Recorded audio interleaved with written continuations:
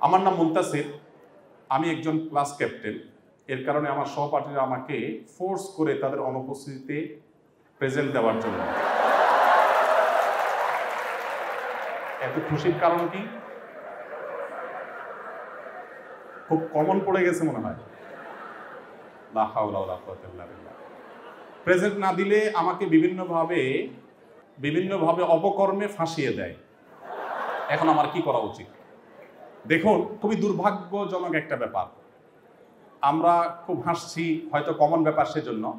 বাস্তবতা হলো, শিক্ষা জীবন থেকে বা ছাত্র জীবন থেকেই কিন্তু আমাদের নীতি নৈতিকতার বিষয়গুলোতে আমাদের জিরো টলারেন্সে আসতে হবে। আমার ছেলে এসএসসি পরীক্ষা দিয়েছে, তো মেয়েটাও দিয়েছে, তারা মাদ্রাসা পড়ে পাশাপাশি পরীক্ষা দিয়েছে। তো ও যখন পরীক্ষার হলে ছিল, পরীক্ষার হল থেকে আসছে, ওর আশেপাশে থাকা সব পোলাপান খুব বিরক্তর উপরে। এমনকি ওর স্যার নাকি বলছে যে, তুমি এরকম শক্ত হয়ে বসে থাকলে শুধু হবে, ডানে বামে দেখতে হবে তো কিছু। ডানে বামে কিছু খেয়াল করো। মানে আমাদের সমাজে নীতি নৈতিকতা এরকম একটা পানসে বিষয়ে পরিণত হয়েছে, এমন একটা অপ্রাসঙ্গিক বিষয়ে পরিণত হয়েছে যে, একজন শিক্ষার্থী তিনি অন্যায় করছেন অন্যায়কে অন্যায় মনে করছেন না। আপনি ক্লাস ক্যাপ্টেনকে বাধ্য করছেন, আপনি প্রেজেন্ট ছিলেন না, তাকে বলছেন, তুমি প্রেজেন্ট দাও আমার। না দিলে তাকে নানাভাবে আপনি হয়রানি করছেন। তার মানে আপনি যদি বড় হন, আপনি এদেশের একজন বড় দুর্নীতিবাজ হবেন। আপনি যখন ডাক্তার হবেন সরি টু সে আপনি একজন কমিশন ফোর ডাক্তার হবেন। যার ছাত্র জীবনে আল্লাহর ভয় নেই নীতি নৈতিকতার বালাই নেই, যে আমি আসি নাই, আমার প্রেজেন্ট কেন থাকবে? বরং কেউ দিলে আমি সেটাকে নিষেধ করব। সেখানে আপনি যদি ফোর্স করেন তাহলে মনে রাখবেন, এই অনৈতিকতাই আপনাকে একজন খারাপ মানুষ হওয়ার পথে নিয়ে যাবে আপনার অজান্তে। আপনি টেরও পাচ্ছেন না। এই জন্য আল্লাহর বস্তে আল্লাহকে ভয় করবেন। কোনো মিথ্যা কথা, কোনো মিথ্যা কথা নিজে বললেন, কাউকে দিয়ে বলালেন অথবা প্রতিষ্ঠিত করলেন, এই সবগুলোই কিন্তু সমান অপরাধ। এবং ইমানদার তার জীবন চলে যেতে পারে, কখনো মিথ্যা কথা বলতে পারে না।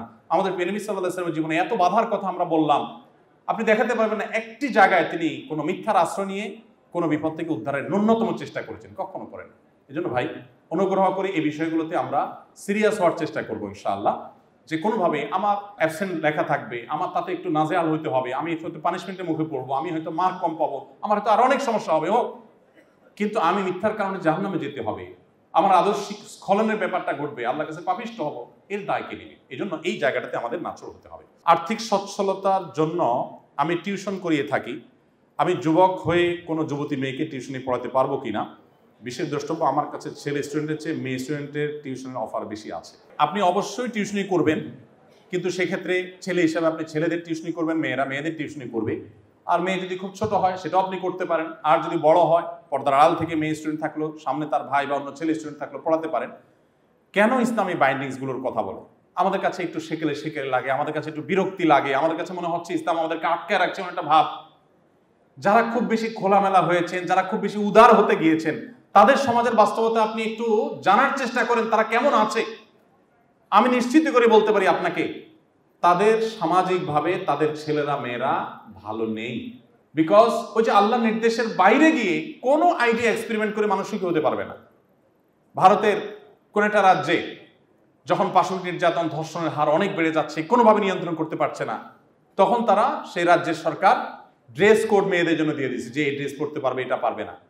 তো ইসলাম যেটা বলে, মানুষ সেটা বুঝে, কিন্তু ওই যে গাদার মতো পানি খায়, কিন্তু গোলায় তারপর। অতএব এই জায়গাটাতে কোন একজন মনীষী, কোন একজন বিজ্ঞানী বলেছেন না যে একজন ছেলে, একজন মেয়ে, একজন পুরুষ, একজন নারী যদি তারা গায়ে মাহারাম হন, একান্ত নিজের ব্লাড নিজের মা, বোন, ঘরের মেয়েরা না হন, অর্থাৎ যাদের সম্পর্কে রক্ত সম্পর্ক সম্পর্ক আছে, এরকম মেয়েরা যদি না হন, তাহলে সেক্ষেত্রে একজন ছেলে, একজন মেয়ে কখনো তথাকথিত ভালো বন্ধু হওয়ার কোনো স্কোপ নাই। এটা একটা প্রতারণা। এটা সাফ সেফ একটা প্রতারণা। যদি বলেন যে, না, এখন আমার মনে কোনো খারাপ চিন্তা নাই, আমরা ভালো বন্ধু। তো চিন্তা আসবে। এখন নাই ডেফিনেটলি যদি না আসে, তাহলে ডাক্তার দেখাইতে হবে। না আসার মানে হলো আপনি অসুস্থ। আল্লাহ সৃষ্টি করেছেন এভাবে, আপনার ভিতরে আকর্ষণ হবে, আকর্ষণ হয় না। তাহলে আপনি দ্রুত ডাক্তার দেখান। তো এই জন্য আল্লাহর এই বিধানটাকে মেনে চলতে হবে ইনশাআল্লাহ। আপনার দৃষ্টিতে মুসলিম উম্মার বর্তমানে সবচেয়ে বড় সংকটের জায়গা কোনটি? এবং এ থেকে উত্তরণের উপায় কি? মুসলিম উম্মার সবচেয়ে বড় সংকটের জায়গা আমার যেটা মনে হয়, আমি প্রায় চিন্তা করি বিষয়টার উপরে, সবচেয়ে সংকটটা আমাদের কোন জায়গায়? আমার যেটা মনে হয়, আমার ক্ষুদ্র জ্ঞানে, সেটা হলো কোরআন এবং সন্না থেকে দূরে সরে যাওয়া। ইসলামের আদর্শের জায়গাটা থেকে সরে যাওয়াটা, এটাই হলো আমাদের সংকটের সবচেয়ে বড় জায়গা। মুসলমান নামে মুসলমান অনেক বেশি। ডক্টর আবদুল্লাহ জাহাঙ্গীর রহমতুল্লাহ ইসলাম বিশ্ববিদ্যালয়ের কুষ্টিয়ার প্রফেসর ছিলেন, আপনারা অনেকে চিনেন। আল হাদিস ডিপার্টমেন্টের প্রফেসর ছিলেন, সড়ক দুর্ঘটনা মারা গেছেন। স্যার, একটা কথা বলতেন আমার খুব ভালো লাগতো। স্যার বলতেন যে, আমাদের দেশে মুসলমান দুই প্রকার এবং গোটা বিশ্বে ইনফ্যাক্ট সেটাই যে মুসলমান দুই প্রকার। একটা হলো সেকুলার মুসলমান আর একটা হলো রেগুলার মুসলমান। সেকুলার মুসলমান বলতে, স্যার, আমরা গতানুগতিকভাবে যে সেকুলার যে অর্থে বলি সেটা না। স্যার বলতেন যে সেকুলার মুসলমান বলতে আমি বুঝাই, যারা জুমা পড়ে মাঝে মধ্যে মাগরিবের এশান নামাজটা পড়ে। আবার ফজর নামাজ কখনো মনে চাইলে সাতটা, আটটার দিকে পড়ে। অ্যাক্সিডেন্টলি কখনো মসজিদে পড়ে ফেলে। তারা যখন নামাজ পড়ে শেষ করে, এরপর টুপিটা ভাঁজ করে প্যান্টের পকেটে বা শার্টের পকেটে রেখে দেন। টুপিতে ভাঁজ করেন আর সাথে তার ধর্মটাও ভাঁজ করে ফেলে।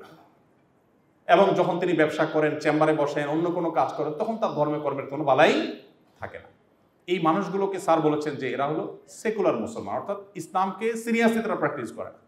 আর যারা কোরআন হাদিস যা বলেছে এটাকে মেনে চলার চেষ্টা করে, মানতে না পারলে নিজেকে ভৎসনা করে সিরিয়াসলি মেনটেন করার চেষ্টা করে, হালাল, হারাম, মাহারাম নন মাহারাম সব কিছুকে সিরিয়াসলি যারা মেনটেন করার চেষ্টা করে, তাদেরকে স্যার বলতেন যে রেগুলার মুসলমান। এখন আমাদের সমাজে রেগুলার মুসলমানের সংখ্যা কত কম? গোটা বিশ্বেই রেগুলার মুসলমানের সংখ্যা অনেক কম। এটা, এটার কারণেই বললাম যে মুসলমানদের ওই যে কোরআন মুসলমান আদর্শ থেকে সরে যাওয়া, বিচ্যুত হয়ে যাওয়া, এটা হলো আমাদের সবচেয়ে বড় সংকটের কারণ। এই কারণে আমাদের অধঃপতন, এই কারণে আমাদের লাঞ্ছনা বঞ্জনা, এই কারণে আমাদের যত রকমের অপমান দেখি, আমাদের পিছিয়ে পড়া দেখি, এই কারণেই। মোহাম্মদ সাল্লাহ সাল্লাম যখন অর্ধ পৃথিবী জয়ের সূচনা করে দিয়ে গেছেন, খলিফা অমর রাদিল্লাহ তালানহ খোলাফায় রাশেদা, সেটাকে সামনে এগিয়ে নিয়ে গোটা পৃথিবীর অর্ধেক যখন তাদের পায়ের তলে নিয়ে এসেছেন, শাসন করেছেন, তখন পৃথিবীর সবচেয়ে বড় অস্ত্র, শস্ত্রের সবচেয়ে বড় অর্থনীতিতে সমৃদ্ধ দেশ হিসেবে মুসলমানরা ছিলেন তা কিন্তু না। সবচাইতে সমৃদ্ধ জাতি অস্ত্রে শস্ত্রে বা অর্থনীতিতে ছিলেন তা কিন্তু না। আদর্শে সবচাইতে বলিয়ান ছিলেন, বলিষ্ঠ ছিলেন। এখনও পৃথিবীতে মুসলমানদের শক্তির মূল জায়গাটা হলো আদর্শ। যতটুকু পিছিয়ে আছে, ততটুকু আদর্শের না থাকার কারণে। আপনি বলবেন, অনৈক্য আমাদের বড় সমস্যা। অনৈক্য কেন হয়? অনৈক্য হয় এই জন্য যে আমরা করোনাদিসের উপরে চলি না। করোনাদিসে চললে তো আমরা অনৈক্য করতে পারি না। আমাদের অনৈক্যরও কারণ হলো করোনাদিসের আদর্শ থেকে বিচ্যুত হয়ে যাওয়া। কোরআন তো বলেছে ওলা তাফর রাখু তোমরা বিভিন্ন গ্রুপে বিভক্ত হইও না। কোরআন তো বলেছে আয়তাসমবি হাবলিল্লাহ জামিয়া তোমরা সবাই ঐক্যবদ্ধভাবে আল্লাহর রশিকে আঁকড়ে ধরো। কোরআন তো আমাদেরকে একত্র থাকতে বলেছেন, বিচ্ছিন্ন হতে বলেনি। সো আমাদের যত অধঃপতন, এর মূল কারণ হলো কোরআন এবং সুন্নার আদর্শ থেকে বিচ্ছিত হয়ে যাও। আল্লাহ রবুল আলমিন আমাদের সবাইকে কোরআন এবং সুন্নার আদর্শে আদর্শবান মানুষ অর্থফিক দান করুন। পর্ণ থেকে বাঁচার উপায় কি? এটাতে আমি খুব আসক্ত হয়ে পড়েছি, এটার জন্য নামাজও আমার মিস হয়ে যাচ্ছে। খুবই দুর্ভাগ্যজনক একটি বাস্তবতা হলো যে পর্ণ এডিকশন আমাদের সমাজে ভয়ঙ্করভাবে বেড়ে চলেছে। এটা থেকে আত্মরক্ষার জন্য ছোট ছোট কয়েকটা টিপসের কথা আমি বলব। এটা নিয়ে অনেক বই পুস্তক আছে। অস্ট্রেলিয়ার একজন লেখকের একটা বই, কোন একটা প্রকাশনী থেকে সম্ভবত সমর্পণ কিংবা সমকালীন কোন একটা প্রকাশন থেকে বের হয়েছে, অথবা সিয়ান, তিনটার কোনো একটা লাইব্রেরি হবে তারা বের করেছে বইটা অসাধারণ পর্ণ এডিকশন থেকে বাঁচার জন্য। আমি মোটা থেকে দুই তিনটা ছোট ছোট আইডিয়া বলতে চাই। এক নম্বর হলো দেখুন, এই সব সমস্যার মূল হলো স্মার্টফোন এবং আপনার ইন্টারনেটের অপব্যবহার। যারা নিজেকে কোনোভাবে নিয়ন্ত্রণ করতে পারছেন না, তারা একটু কষ্ট করে একটা হার্ড ডিসিশন নিতে হবে। ডিসিশনটা কি? আপনার যদি ওষুধে কাজ না হয়, সাধারণ মেডিসিনে কাজ না হয়, আপনারা ডাক্তার মানুষ, আপনারা তখন অপারেশনের কথা বলেন। যে মেডিসিনে দেখি, হয় কি না না হলে অপারেশনে যেতে হবে। আপনি প্রথমে বিভিন্নভাবে ট্রাই করলেন, যখন দেখছেন কোনোভাবে হচ্ছে না, তখন আপনাকে অপারেশনে যেতে হবে। অপারেশনটা কি?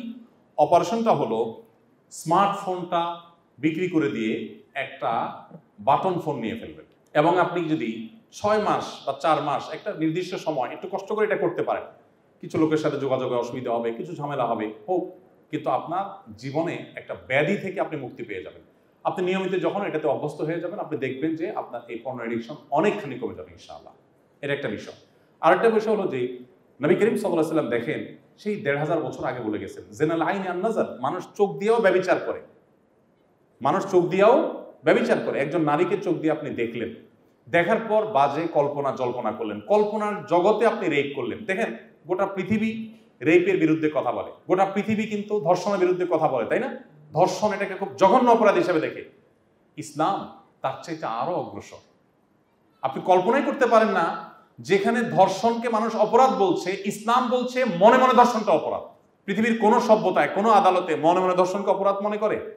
অথচ মানুষ মনে মনে একজন নারীর শ্লীলতাহানি করতে পারে। কল্পনার জগতে একজন নারীকে নিয়ে নোংরা চিন্তা করতে পারে। ইসলাম বলেছে, সেই লোকটা অপরাধী কি আমাদের তার বিচার আল্লাহ তালা করবে। নারীকে আর কীভাবে সম্মানিত করতে হয়?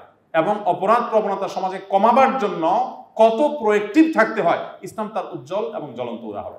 এই জন্য এই পর্ণ এডিকশন থেকে বাঁচার জন্য চোখের নিয়ন্ত্রণে কোনো বিকল্প নেই। আল্লাহ বলেছেন, কুল্লিল মিনিনা ইয়াগুদ্দু মিন আবসারিহিম ওয়া ইয়াহফাজু ফুরুজাহুম। ইমানদারদেরকে বলে দিন, তারা যেন চোখকে হেফাজত করে, সংরক্ষণ করে। এবং নারীদেরকেও নির্দেশ করা হয়েছে, তারাও কিন্তু চোখের হেফাজত করতে হবে। নারী যদি মনে করে, না, আমাদের জন্য এই নির্দেশ নাই, ভুল হবে। আপনাদেরকেও কি করতে হবে? চোখে সংযত করতে হবে। অনেক সময় দেখা যায়, অনেক মেয়েরা অনেক হুজুরদের ওয়াজ শুনতে পছন্দ করে।